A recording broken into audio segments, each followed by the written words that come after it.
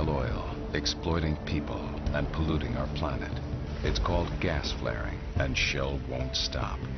Shell's flares contain toxic chemicals like benzene and are estimated to have caused respiratory illness in thousands of Nigerian children. Shell made $30 billion in profits last year at the expense of our children, our families, our planet. Go to shellguilty.com and make them stop.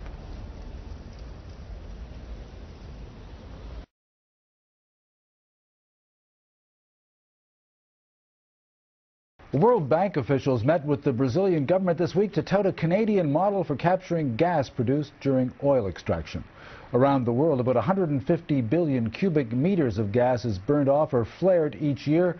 That's roughly enough to supply the entire U.S. economy for three months. And as Dave Sims reports, countries that get tough on flaring could also cut their greenhouse gases. Natural gas flares in Africa so big they can be seen from space. This is one of the largest collections of gas flares anywhere in the world. Companies burn gas associated with oil wells when there's no domestic market for it. Alberta faced this a century ago.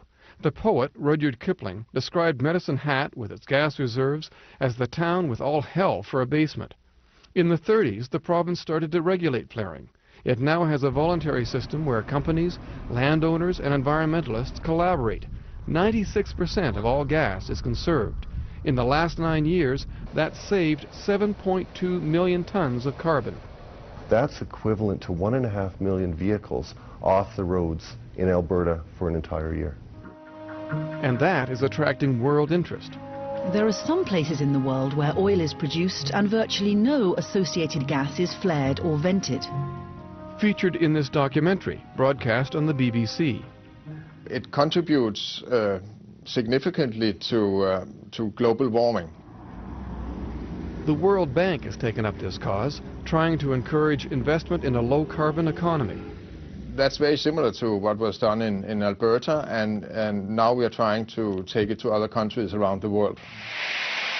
Countries like Nigeria, Russia, Angola, and Brazil this gas is often burned next to communities that have no electricity. Already, it's led to small-scale projects to generate power. This model can be applied in countries around the world, but what it takes is a willingness. Global flaring produces huge amounts of greenhouse gases. Almost 400 million tons of CO2 being emitted each year. In other words, if we did nothing but cut flaring around the globe, that alone would more than meet the targets of the Kyoto Protocol. Dave Sims, CBC News.